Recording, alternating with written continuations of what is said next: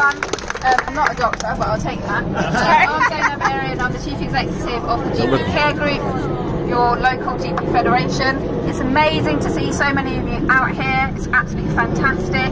Thank you so much for coming. All of this could not have been done without the support and the dedication of the run directors and the volunteers who give up their time every single week to come down and put on such a, an amazing event. I would have to say, on behalf of everyone who works in health and social care, physical exercise is probably the best thing that we can do to help your own health. So it's fantastic that you are all here and you're participating.